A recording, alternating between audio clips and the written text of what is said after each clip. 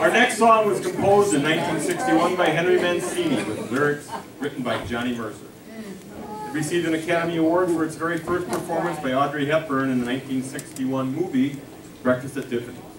Songwriters wrote the song to fit Audrey Hepburn's vocal range, and the original lyrics were, I'm Holly like I want to be, like Holly on a tree back home. Later they were changed and the song became Moon River.